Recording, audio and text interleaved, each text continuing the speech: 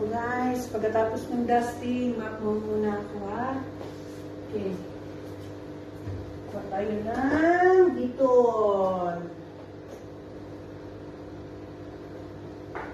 Tapos, konting Clorox. Pero medyo, ano,